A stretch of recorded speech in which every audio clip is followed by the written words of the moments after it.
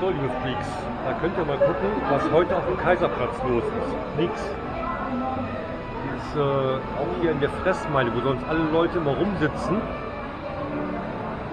Keine Tische, keine Schlangen, überhaupt nichts. Also ist alles sehr entspannt für ein Pfingstwochenende, echt der Hammer. Ich war jetzt gerade noch mal Black Mamba fahren, war auch gerade schon äh, zweimal Taron, beides mal erste Reihe. Einmal 30 Minuten gewartet, einmal 20 Minuten gewartet. Äh, kann man machen.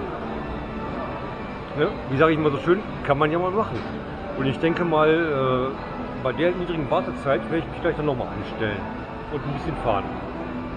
Ansonsten schöne Grüße äh, von Angie, äh, Steffi, Hans, Marcel und alle, die wir sonst noch so kennen. Ich habe sie alle besucht.